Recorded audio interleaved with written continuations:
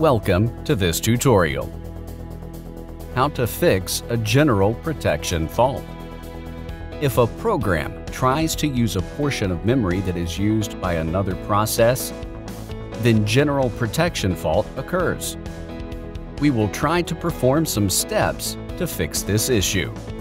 Hoping this video may help you to fix your problem. Follow these steps. Type Disk Cleanup in the search bar at the bottom left.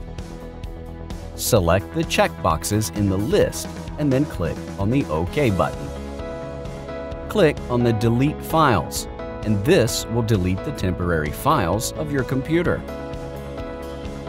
Try to free some hard drive space by deleting unused or not needed files, especially the video files, as they require much storage space. Also, don't forget to empty the recycle bin. Open Command Prompt as admin. Type sfc space forward slash scan now and press Enter key on your keyboard. This will repair any corrupt files on your computer. Type DISM space forward slash online space forward slash cleanup dash image space forward slash check health and press enter key on your keyboard. Type DISM space forward slash online space forward slash cleanup dash image space forward slash restore health and press enter key on your keyboard. This will take time to complete the process.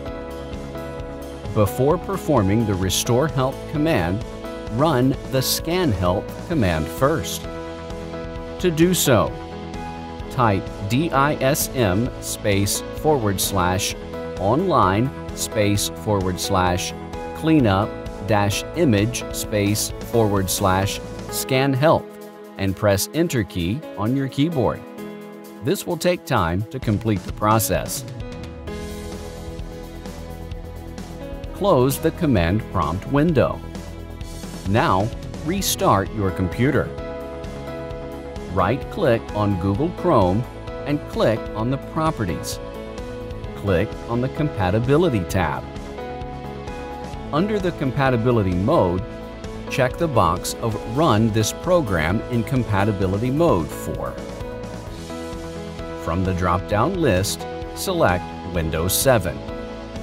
Click on the Apply button and click on the OK button. Hope this was helpful. Have a good day. Please subscribe to our channel.